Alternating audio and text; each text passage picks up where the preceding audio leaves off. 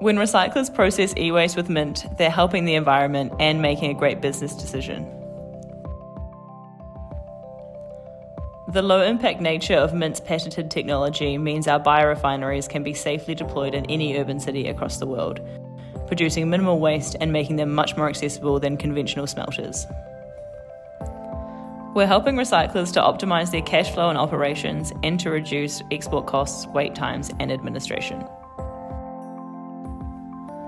The metals we extract from the process are put back into circulation to support the industries where they are needed most, such as future technology and electrification.